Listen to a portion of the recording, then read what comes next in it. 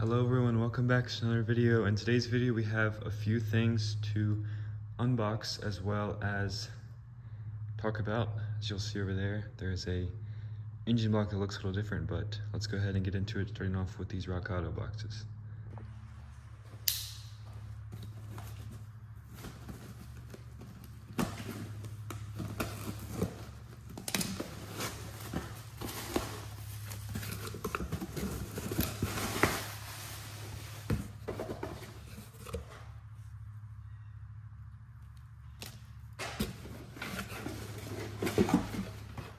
So this is our crankshaft seal kit for the Volkswagen engine, which comes with a new front plate here.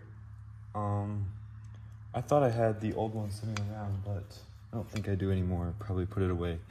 But this is definitely a lot cleaner, more promising, and I assume this is just a cover, yeah. So that's our first box. One with a magnet. Howard's car.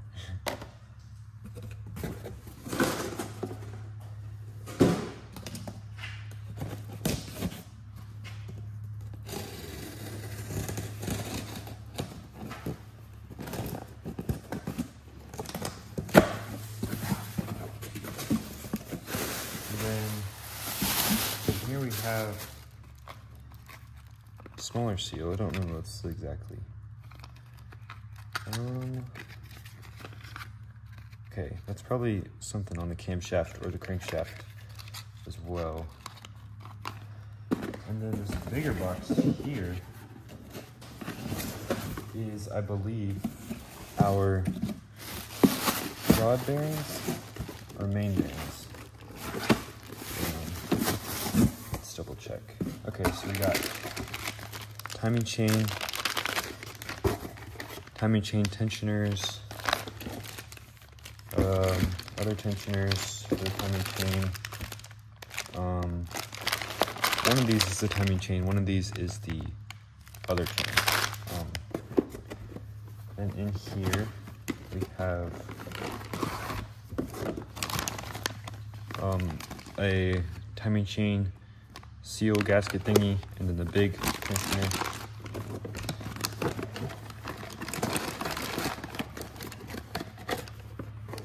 And then this one, lastly, we have the other big tensioner.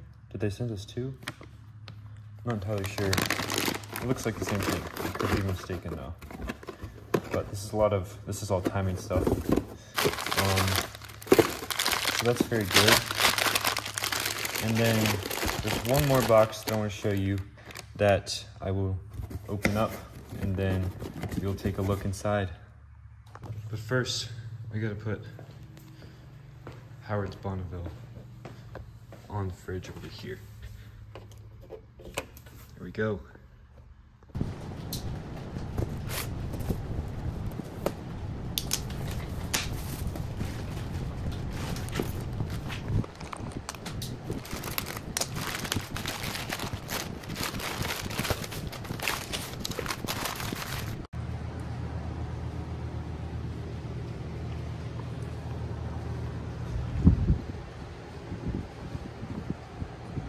All right, so what you just saw me unbox was a, yes, Chinese clone of a Garrett 3076. It's either GT or GTX. Don't remember the exact lettering there. Um, but the main purpose of this thing is not necessarily to power the engine, but to learn from this.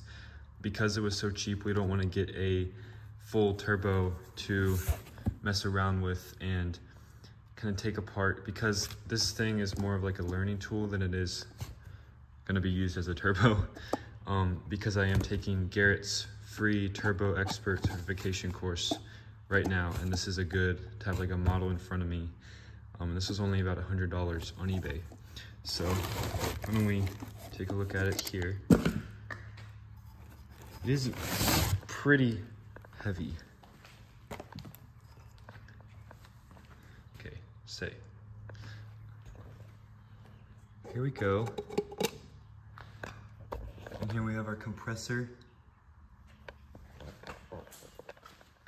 and our turbine with our inlet here coming from the exhaust going into here and then all that hot air comes out goes to the exhaust system and then the shaft in here that gets spun by the hot air that's connected to this blade.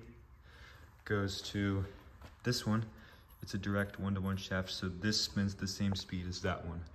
And this one is some crazy number like 120 180,000 RPM that'll spin at.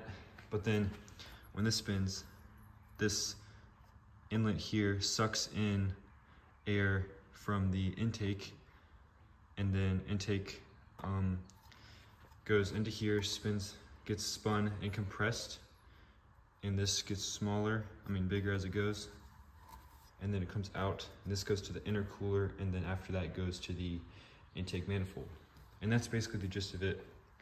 This is a decent sized turbo and the listing did say it was good for 500 horsepower. I don't know how accurate that is seeing that it is a clone but i don't know if we're to do this on the engine or not to just play around but i know it'll for sure be a good learning tool so moving on over here we have the pistons from the engine um, in the last video, I know it was just kind of like a whole jumbled mess, but since then we have completely taken it apart and I'll get to the block in a second, but here's our cylinder head up here with the camshafts taken out and all the lifters still in, along with the valves and valve springs.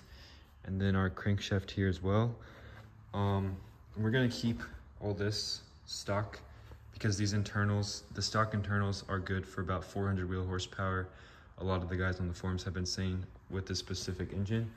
And so here are the pistons that we, um, these were all really crappy on the top. Like the buildup was pretty intense, but it was very flaky, so it came off very easily. And this new ultrasonic cleaner we got from Harbor Freight, and my dad did a review on that. And if I remember, I will link his channel in the video in the description. So you can check that out if you're interested. Um, and then moving on to the block. So this is an iron block, so it's very easy to paint, um, easier than aluminum at least. And so what I did is I taped off all the sealed surfaces like the water pump up here, the uh, head gasket place, the uh, front and rear seals, and then the oil pump stuff as well. And then on the bottom, I just didn't go down there, but all this was taped off as well to prevent any paint getting in there. And then this is simply VHT uh, high temperature paint. Um, I used this primer, which is good for 2000 Fahrenheit. This paint, which is, this can was like really old and crappy, so it, looks like it's actually leaked out. I need to clean that up. This is good for 650. This was for the block. This is the actual paint. And then the clear coat is good for 2000 as well. And uh, we threw all that on there. And we also cleaned the block with um, O'Reilly's engine degreaser and some oven cleaner as well. Works very well on the aluminum parts, like the oil pan spacer right here. But this paint is called titanium, I believe, or like Arctic something. Um, and I just went around and did two coats of like everything. And I think it looks pretty decent. It filled in a lot of the um, kind of messy spots from the iron kind of oxidizing there all around looks pretty good i'm happy with the color i think it's a pretty unique color because it has a tinge of blue to it um, and then we're also going to have a friend clean up the ports and the rest of the head for us so we have a lot of stuff going on here with the engine everything taken apart ebay turbo and here's some of the parts over here um, so here's that thing I was trying to find earlier. This is the old front crank seal. Um, there's our exhaust manifold, which is going to get replaced with a turbo manifold. Um, and then this is our uh, the thing that holds camshafts in place. The camshafts are down there. Um, and then there's the um, timing cover. I think that is. It might be the front, though. I think that's actually the timing cover. Um, however, we are going to be turbocharging the 07K and we're gonna have a goal of around 350 horsepower, which is pretty good on the stock internals, and it won't. It'll be pretty stress-free, but um, I don't know if this is going to be the one we're going to be using. If not, we'll be going for a Precision 5431 or a Garrett GT 3071, 3071, whichever one that is, 3071R. But uh, yeah, that's what we have going on now on the Porsche. And we have a few more parts coming in to finish up the brake system. And yeah, thank you guys for watching and I'll see you next time. Bye.